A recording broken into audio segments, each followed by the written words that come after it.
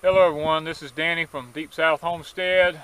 We uh, are in the process of terracing our property. We have hillsides everywhere and in order to prevent erosion and keeping our topsoil, what we're in the process of doing now is laying off some terrace rows. And we're going to be, we have a base row started right here from years ago. We're going to tie on to this one and we're going to finish it on across the field here to help stop some of our erosion problems that we're facing, losing our topsoil.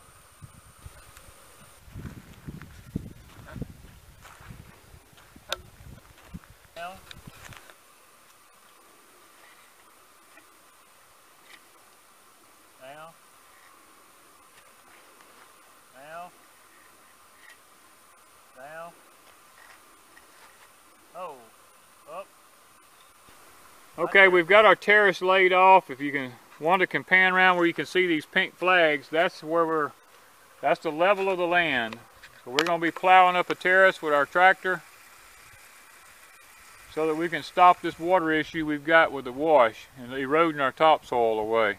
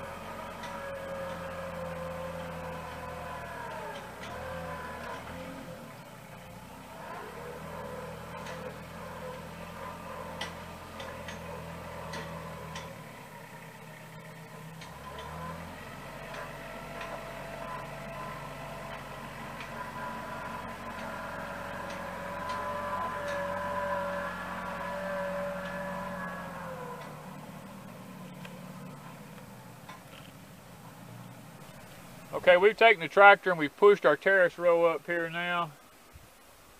We're going to let it rain on it a few times to kind of wash it down just a little bit and settle it. And then we're going to try to smooth it out on top and level it all up so that um, it looks a lot better. But we had a big heavy rain last night and didn't seem to broke over anywhere. It seemed like it worked just like it was supposed to.